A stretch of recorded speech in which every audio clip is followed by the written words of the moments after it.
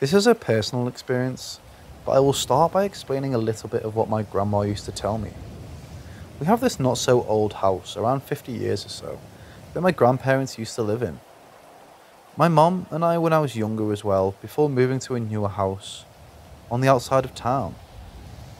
She always said that there lived lives a friend, or so she calls her, who will sometimes roam the house during night, and rarely you could hear him during daytime. He never harmed her or anyone, at least not that I'm aware of, but he will always caught your eye in a glimpse. You know when you think you see a shadow moving, so you turn in order to inspect? That sort of thing.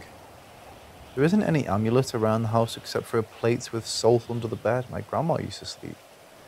I guess it's there since she told me one time she woke up to see a friend sitting on the foot of her bed while watching over just to disappear a few seconds after. After some years and due to personal issues, my mom, stepdad, and I lived there for about three years. They never claimed to have experienced anything, maybe because they were sleeping in the bedroom that my grandparents used to sleep in. And it had the salt, or maybe because they aren't that susceptible about paranormal. On the other hand, I slept on the room that I used as a kid and didn't have any kind of protective charm nor salt.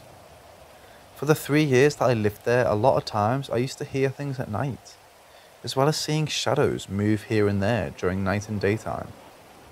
I'm not that much into paranormal things either, so I don't know a huge amount. But every week, at least two or three times, I would wake up in the middle of the night with a feeling of being uneasy, like something was around or had just passed through. Being an old house, we didn't have an AC, so some night during the summer, I would sleep on the couch in the living room while there was a nice breeze of air. I remember clear as day that on my last summer in that house, two of those nights, I woke up in a sweat, my mom claiming that I was screaming. And what I would claim, that there was sleep paralysis. Never actually seen this friend like my grandma did, but I can assure you there was something in that house. Now I live in the outskirts of that same time.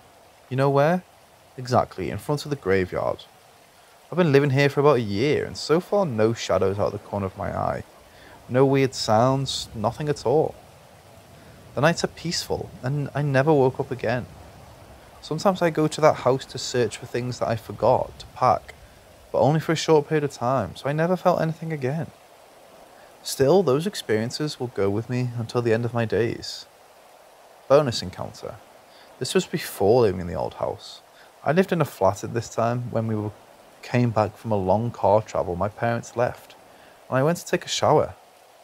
Before entering the bathroom, something caught my eye, and when I turned my head to see what it was, I saw this tall lady in a wedding dress for a split second before it vanished.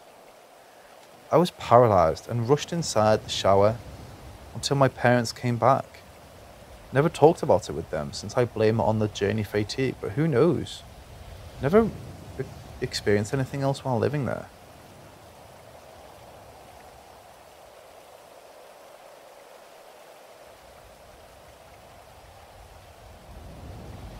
This happened a year ago, but my husband and I still talk about this experience because it was truly bizarre and I struggled to find an explanation for it. It was late at night and rainy. Our living room has a clear view of the street and all the cars parked along it. My husband and I were chatting in the living room when I passed by the window and a person standing outside caught my eye. It was an average build adult male wearing a beanie. He was standing behind our car parked on the street just standing straight still. I asked my husband, hey, what's that guy doing? Our neighbourhood deals with frequent car thefts and break ins, so I was at first worried this dude was scoping out our car to steal or rob. He says, What guy? I kept thinking he couldn't see him because of the rain or the angle I was standing at. I had him stand in the exact same spot I was, describing exactly what he was wearing and where the man was, but my husband was never able to see this man. I was annoyed at first, just thinking he wasn't looking closely enough. But the longer I argued, the weirder I felt. Like I was seeing something right in front of me that my husband just couldn't see. I turned around at one point, and the second I turned back to look, the man was gone. I know it was night and rainy, but we live in a city with lots of lights and bars. We have a direct view of a main street in the neighbourhood. He was gone from my sight within half a second of me turning to look away. I still see him in my memory blue beanie, brown coat, jeans, boots, just standing perfectly still by our car. I saw him as clear I see anything else, yet my husband, standing next to me, saw nothing. I've never experienced anything like that before or since, and it freaks us out both out to this day.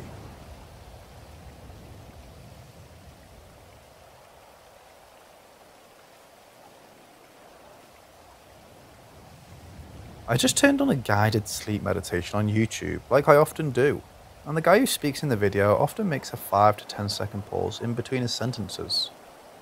After listening for about 5 minutes, I started to slowly sleep in. You know, when you start to doze away, but you're still there. And in those 10 seconds when my half sleeping brain is getting used to the absence of a voice, and then suddenly he starts to speak again, my body or my brain reacts with a short and weird flash, and I startle.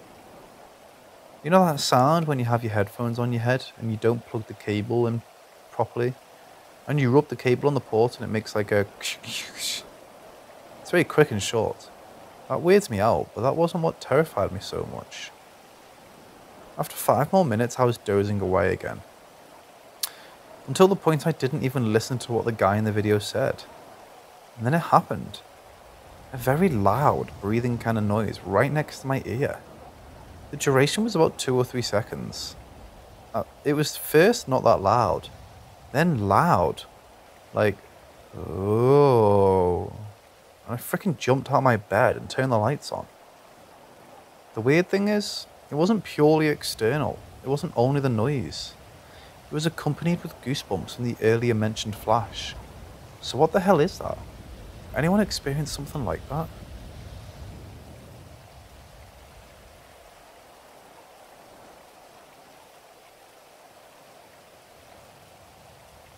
I'll give some context beforehand. I decided to take a quick stroll in the garden before going to sleep. There I saw my only cat. She greeted me, then she walked off for her usual night patrols. When she wants to enter the house, she usually makes it quite clear by standing near the door and meowing. But this wasn't the case. She walked off in the opposite direction from my house. Then I went inside, closed the door, and went to sleep. There were no other doors or windows open, so the cat could not have gone inside until someone woke up the next morning. This will be important later. So about half an hour after I went to bed, I was half asleep. About 3.30 in the morning, the usual time for paranormal activity. And I felt something walking on my mattress beside my leg. At first I thought it was my cat, because the footsteps had the same distance and weight of a cat. But then, after a couple seconds since I was half asleep, I put together all the reasoning explained before about my cat not being there. As soon as I realised that I understood it was something else walking on my bed, I got scared really fast. My first thought was I must not open my eyes. I don't want to see what is there. Then I tucked myself under the blanket and calmed down. I fell asleep again after half an hour and woke up like usual, without anything more strange happening.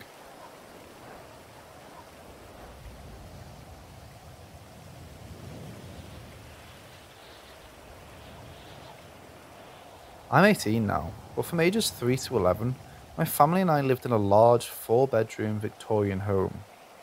It wasn't really the location you would expect a haunted house to be in.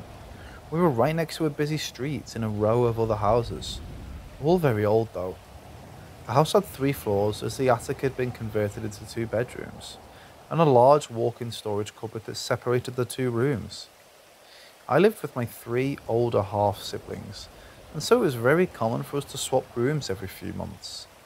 I'd slept in every room, my parents' room quite often as I was terrified every night. More on that later. The large room opposite theirs and the two attic rooms.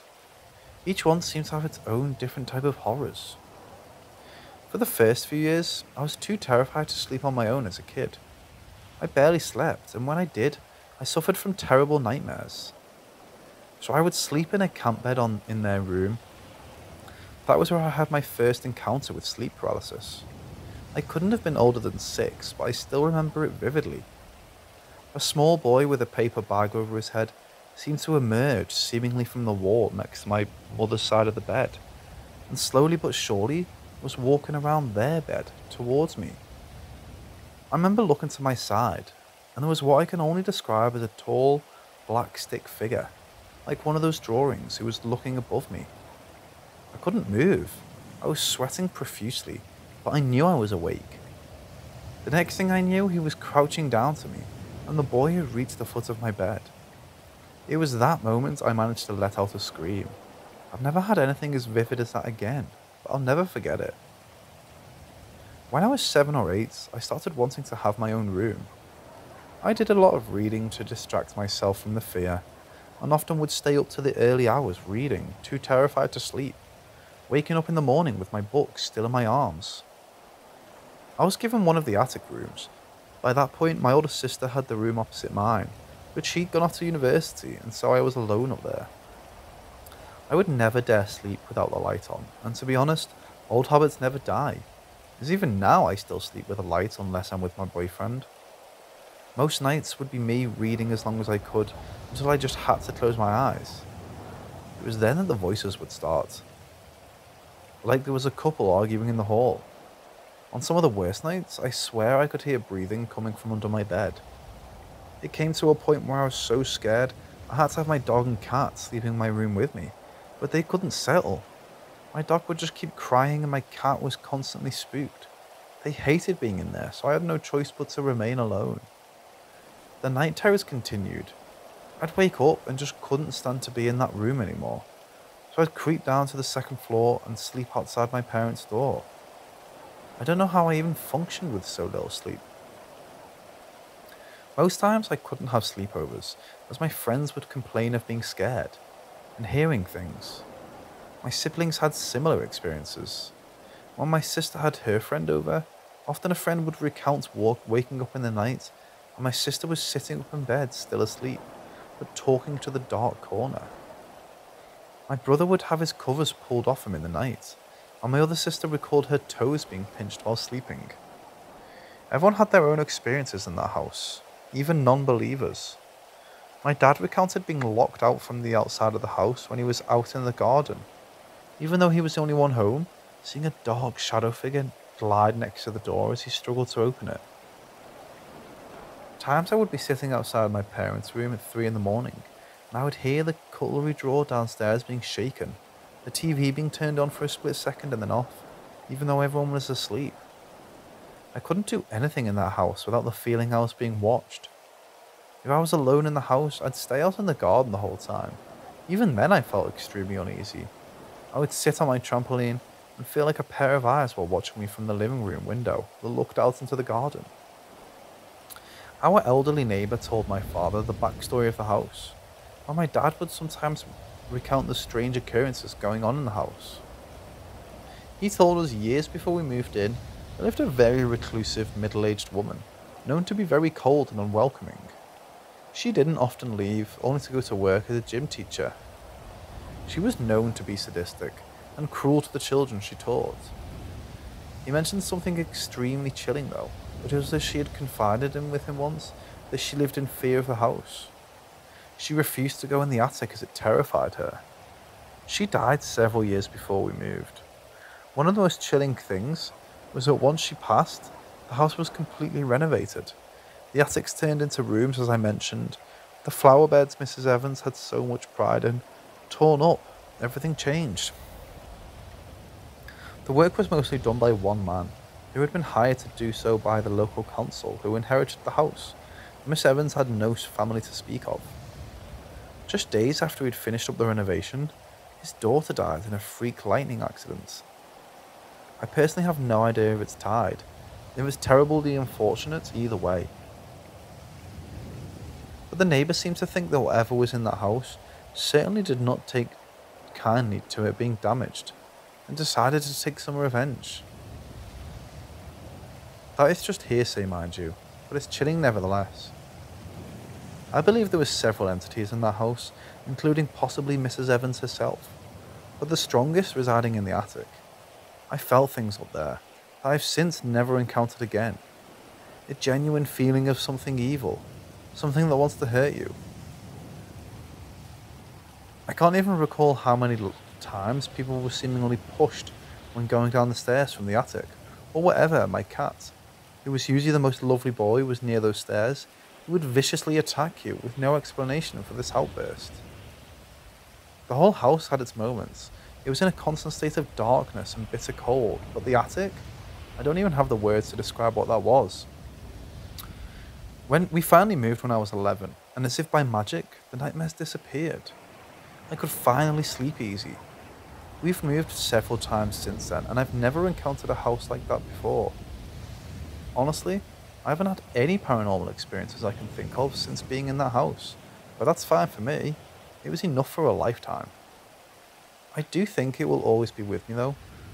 Sometimes I'll have the most vivid dreams that I'm back there, and I'm so glad to be there, almost as if it's calling me back.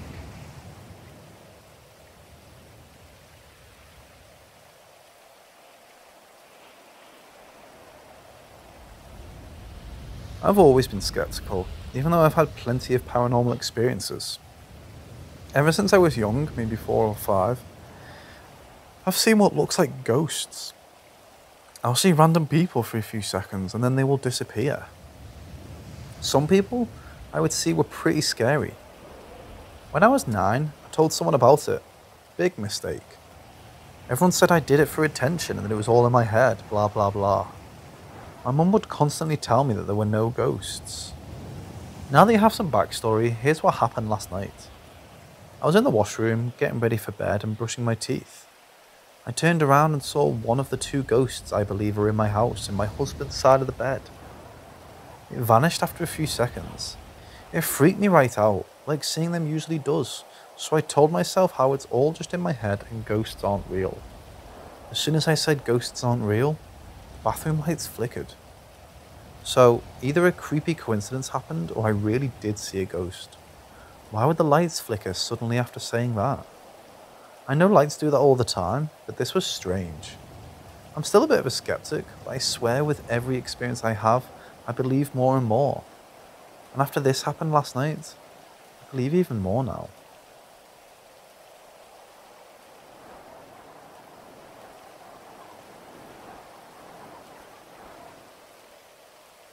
So, about a year ago, my uncle died of a massive heart attack. He was 65 years old. He left me with his motorized scooter that I used for fun until I fix it up and sell it. It's in rough shape, but it drives nicely. Even though my uncle died a year ago, I just managed to get the scooter about a week because I finally found some time to hire a U-Haul and get it from my grandma's house. So anyways, on to my encounter. I wanted to drive it this morning, but the battery was low, so I decided to charge it. I tried everything I could think of to put the plug thingy into the scooter, but nothing worked. I spent a good 10 minutes trying to figure out how this thing plugged in. I was starting to get frustrated and was about to YouTube it. I don't know why I didn't think of looking it up sooner. But just as I was about to go back into the house to get my phone, I heard my uncle's voice in my head saying, You have to put it in, turn it, and then push it. And um, that's exactly what I did, and it finally plugged in. I couldn't believe it. I'm still kind of creeped out now, a few hours after it happened. Which is weird because I've never been seeing ghosts since I was young. They usually don't talk to me though. And I never saw my uncle, I only heard his voice. This is the third weird thing that has happened since he died, but the other two things happened in my dreams. The night before the funeral, I had a dream of my uncle's moles lighting up all over his face. I know it's weird, lol, and then at the funeral, I saw his face and they removed all the moles. That kind of freaked me out. The second dream I had of him was a while after the funeral. I was on an elevator and it stopped. My uncle was standing in the doorway, and before entering the elevator, he says, Is this going up? He got on the elevator and it went up into the clouds, and then I woke up. The dreams really had me wondering if it was really my uncle coming to me to say he's okay or not. But after the experience with the scooter today, I strongly believe that it was him coming to me in my dreams.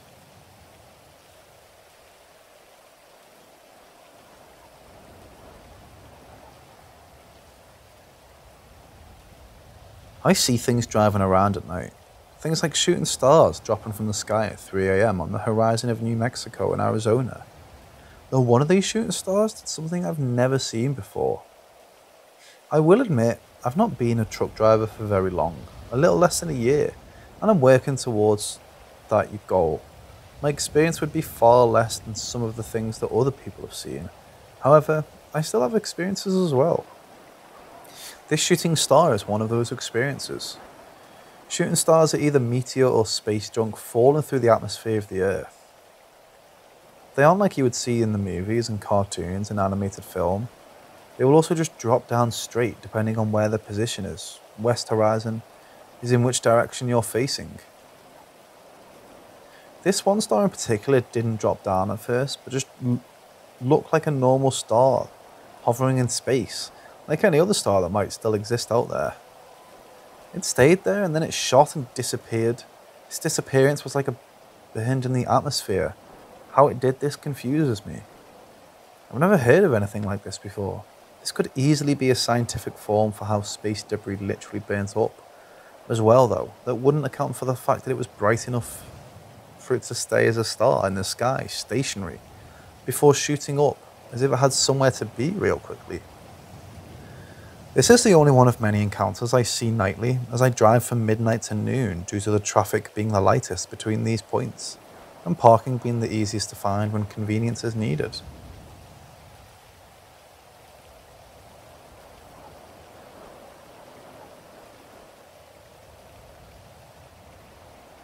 Hey guys, last Friday me and my boyfriend found this huge amazing looking dream catcher that we decided to buy. My partner noticed that three of the beads were missing, and one of the strings was cut in half. I didn't think too much about it. The dreamcatcher still looked fine, so we decided to buy it. We were partying pretty hard that weekend and didn't get much sleep, but since Monday night, both me and my partner have had the worst sleep and dreams. First off, I'll just add that I'm suffering from restless leg syndrome, and without medication, I wake up several times in the middle of the night to twist and turn my legs in an attempt to get rid of that unpleasant feeling. Before going to bed Monday night, I took my medication as I always do, yet woke up several times because I had to move my legs. It felt like the times when I forget to take the pill before going to bed. That night I ended up sleeping on the couch because it was too uncomfortable to try and stay asleep in bed. After an hour sleeping on the couch, my boyfriend walked out of the bedroom and woke me up. He asked me why I wasn't in bed, and he said that he had the most horrible nightmare ever. Woke up panicking and turned to my side to bed to cuddle me, but realizing I wasn't there. The next morning, I asked him what he had dreamt, and he said that someone took his kids away from him and that he would never see them again. Since Monday night, me and my partner have had really fucked up and stressful dreams. Both of us have woken up several times each night, and in general, just had a really disturbed sleep. I've also woken up drenched in my own sweat. So what do you guys reckon? Could the broken dream catcher have an impact on our sleep? Should we take it down, get rid of it, put it out in the sun? Also, I had a really weird dream last night where I found a little pimple on my shoulder, which I popped. Blood and pus kept coming out after a while. I managed to pull out a long, slimy string. After pulling out the string, I pulled out what looked like a tube and then a cocoon sack with a bird inside with a big beak. The bird transformed into a human and he started to trick me, so I got confused and lost in the dream. My boyfriend said that dreams like that are demonic. Any thoughts on that?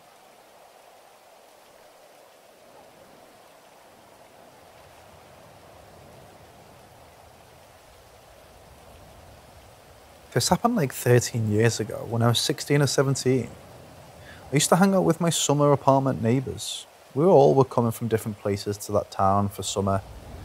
And neighbour to neighbour, we ended up being a lot of people. Well, results that a neighbour of my neighbour was some kind of expected use of a Ouija board. Nacho. And with all the stories he told us, we decided to give it a try. Then, one night we went to a park near the station with a board we made that day with a piece of wood material that we painted there the alphabet. Yes, no, hello, bye, and 0 to 9. It was very symmetric and we were so proud of it. At first we were five, and we slightly put our fingers on the glass situated at the centre of the board, and Nacho started to say, if there is any entity that would want to contact us, say yes. He repeated this four or five times, and the glass started to tremble. We were all amazed at this point because no one can make a glass tremble with just a finger on it without being too obvious. And Nacho said, Now, to get stronger, make circles around the center of the board. And it gradually was getting more speed and more accuracy. And he said, Now, for being sure that nobody is moving the glass, we will take our finger out and putting on again one by one, while it continues making circles and the glass continued making perfect circles at an outstanding and stable speed and accuracy. Now go to the edge of the board and leave half glass outside of the board. And do the same at the opposite edge, he said. I think this was totally for free and unnecessary, but it was perfectly accurate. Executed the several times that it had done that. Then we started to talk with it. I remember a few things and disordered. Meanwhile, we were there, more friends were arriving, and we ended up being 15 and 20 people around the board, but just five of us with the fingers in.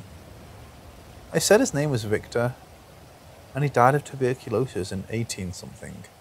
Someone asked him what was his favourite football team, and he said, Nastic A1.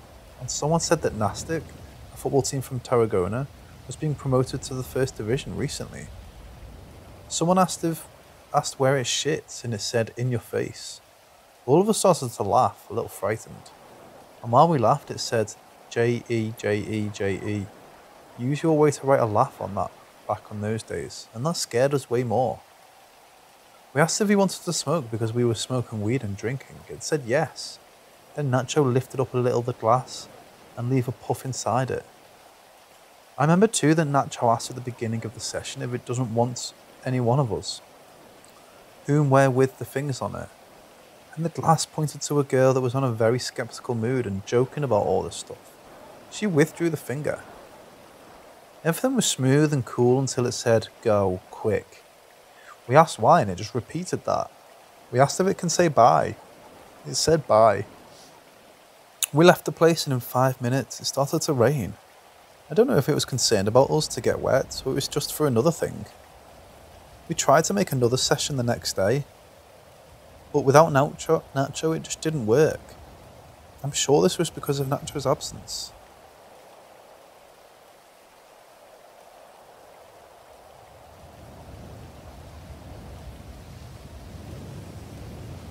I always feel like I'm being watched in my room. When all the blinds are closed and doors shut, and no possible way for anyone to see me since I first moved in when I was 10. Still feel like I'm being watched when I'm there to this day. Also, this year, I heard taps on my window sounding like claws or fingernails, not birds. And I saw a shadowy figure watching my brother. And I at the bus stop, hiding, leaning from one of those horse stalls. Our stop is next to a horse area. To the point we started bringing flashlights to see if we, if we were seeing shit. My brother had it worse. He said it sounded like someone was trying to break into his window. Like he heard pounding, scratching, stuff like that. Then one day, my mum did a spell, and things mostly stopped. I'm 15 and my brother is 17, by the way. My brother said when he explained why he thought what was happening, and he said something about challenging gods and demons that were giving his girlfriend a hard time. Personally, I'm not religious or superstitious. All I know is that some weird shit happens sometimes with no logical explanation. During that time, my brother told me not to look at whatever was doing it, because if I did, he said, and I quote, I'm fucked. My brother and I's room is on the second floor, by the way. There's no way to get to my window from outside unless you're Spider Man, because it's just a wall with no trees nearby. My brother's has a tree nearby and has part of the roof extending from near its window.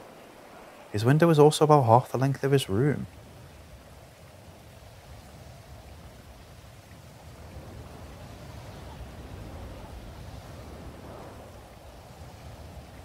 Last July, I lived in Wilmington, North Carolina with a couple of my buddies from high school. One night, me and my friend decided to go to the beach after midnight to just escape and talk about life.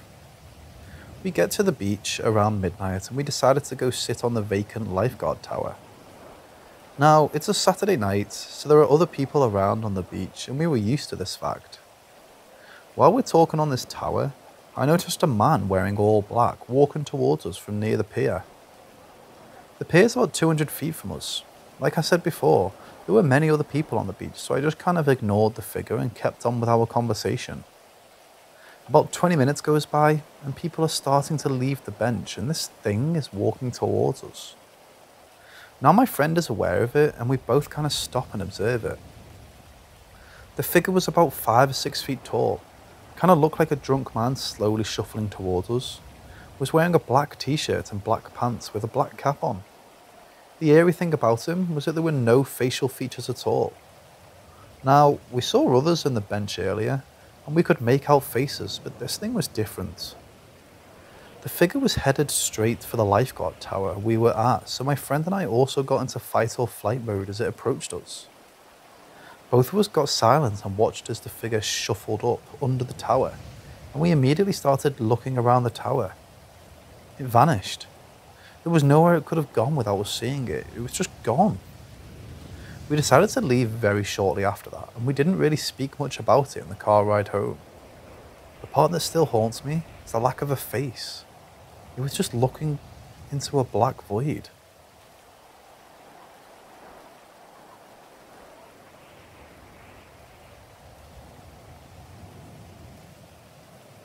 So, I was 9 to 11 years old, now 33, and every time I took a shower, I looked through the bathroom window for some minutes because I liked to imagine myself jumping from roof to roof.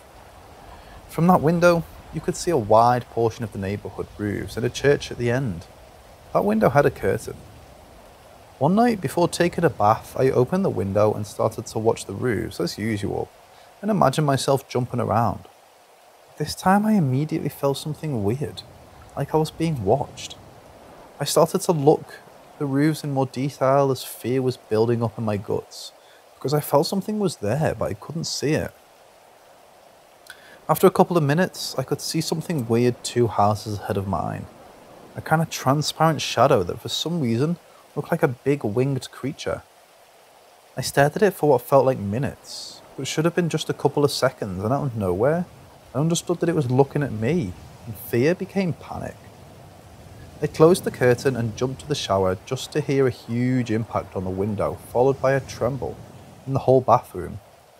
My parents think, screamed, thinking I fell, but it was just that thing.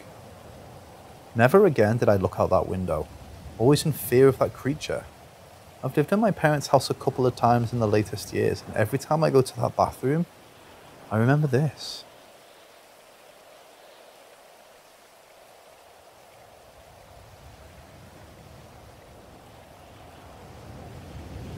When I was 16 to 17 years old, I worked at a banquet hall in the town I grew up in. It was an awesome job with awesome co workers and decent pay. Not to mention, I got to chow down on wedding cake twice a week from April to November. However, something about the place never felt quite right. I did not like being alone in the main ballroom, the mezzanine room, or the large storage area directly adjacent to the main ballroom. To be fair, the reason I didn't like being alone is because when I was, I actually felt like I wasn't. It's hard to explain, but it felt as if each time I turned around to look over my shoulder, because I felt a sense of dread or the presence of another person and saw nothing. The panicky feeling got worse. These feelings persisted without any tangible events occurring for roughly six to seven months. Then, one Saturday night in July, I was locking up the mezzanine room, which involved me turning off all the lights, proceeding down, the long entrance hallway, exiting the building, and locking the door from the outside. I remember having a strong feeling of dread and concern so much so that I ran down the hallway to the door. I went outside, turned, unlocked the door, and then I made a mistake. The doors were glass, but with the outside lights on and the indoor lights off, you couldn't see inside the hallway behind a foot or so. I was feeling a bit relieved from having made it outside, and after locking the door, I knocked three times and said good night. I turned to walk away and made it about three or four steps when I heard a distinct banging on the glass doors three times, and then a sound I will never forget. It was a guttural sound, very deep, but it was undistinguishable. I wish I could have been clocked at the speed with which I ran out to my car. I had to break some kind of record. I sat in my car for a couple of minutes and just tried to catch my breath before driving home. I never shared this with any of my co workers because I hardly wanted to believe it myself. But it happened, and it stuck with me for almost 20 years.